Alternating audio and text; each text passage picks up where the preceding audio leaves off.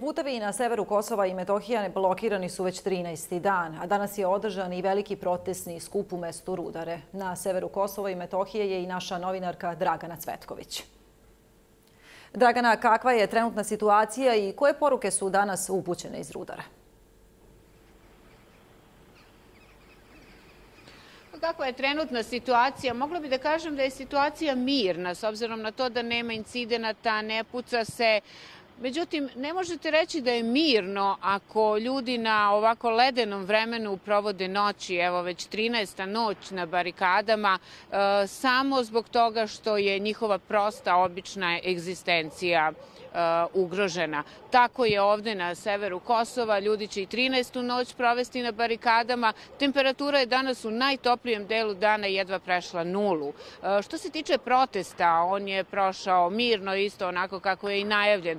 Glavne poruke jesu poruke mira. Uh, ono što je bilo dirljivo danas meni jeste insistiranje svih govornika na mirnom, dostojanstvenom suživotu sa komšijama Albancima. Dakle, ovo nije protest protiv protiv e, albanskog naroda, ovo je protest protiv vlasti u Prištini, protiv Albina Kurtija koji, kako je ovde danas rečeno, sprovodi teror nad srpskim narodom. E, bilo je više govornika u narednom prilogu, čućete neke od njih. Dakle, osnovne poruke bile su poruke mira.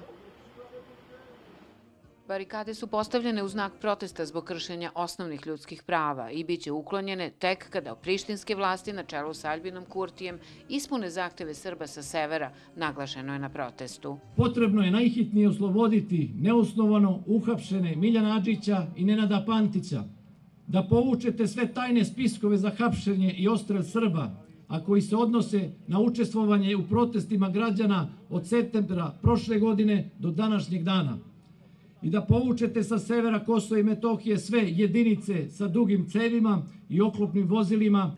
Duga je lista prekršenih osnovnih prava građana Kosova i Metohije srpske nacionalnosti. Moj otac je kriv samo zato što je Srbin. 13. je dan kako ni ja, moja porodica, ni naši branioci nemamo nikakav kontakt sa njim. Niti smo ga vidjeli, niti smo ga čuli. Mi smo sa Albancima živjeli.